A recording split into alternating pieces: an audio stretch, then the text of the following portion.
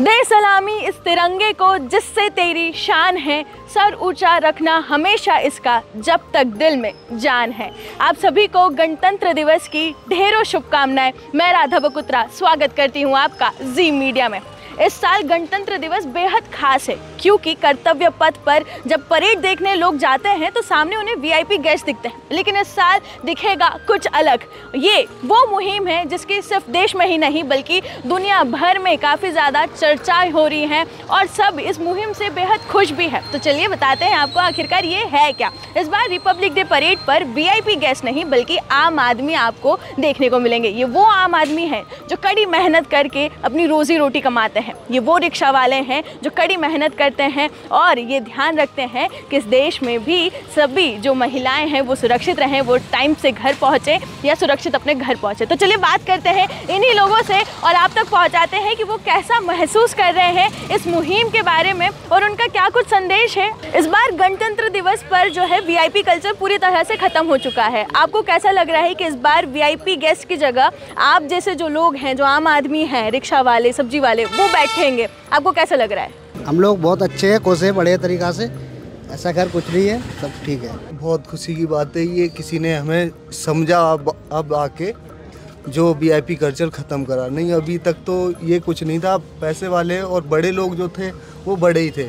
अभी तक ऑटो वालों को और छोटे नॉर्मल लोगों को कभी नहीं समझा गया। ये बहुत खुशी की बात है जो वीआईपी कल्चर ख़त्म किया गया। ये होना भी चाहिए सभी के साथ सब एक समान होने चाहिए। एकता इसे ही कहते हैं। हमें तो बहुत खुशी है जैसे कि हम देखने जा सकते हैं।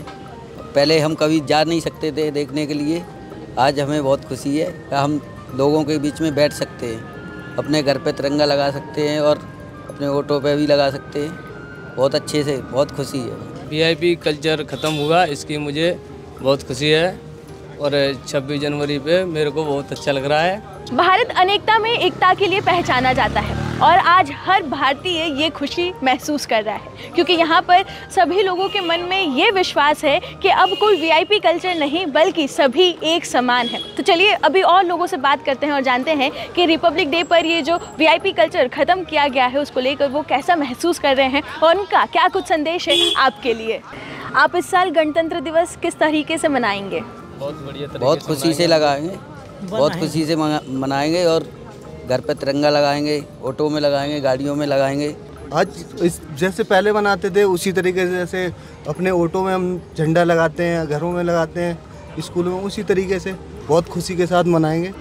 फैमिली के साथ मनाएँगे तिरंगा है घर पे लगाएँगे तिरंगा ऑटो में और फैमिली को घुमा घुमाने के लिए लेके जाएँगे। 26 जनवरी जो भी परेड वहाँ पे होती है जो हम जाएँगे दिल्ली में इंडिया गेट। हमारे दर्शकों को क्या कुछ संदेश देना चाहेंगे आप रिपब्लिक डे के को लेकर? हम तो यही कहेंगे हमारे जितने भी भाई लोग हैं वो अच्छ, बहुत बढ़िया तरीके से एक एकजुट होकर गणतंत्र दिवस मनाएँ उसमें ज़्यादा खुशी है। भारत माता की जय। वंदे। मातरम। वंदे। मातरम। वंदे। मातरम।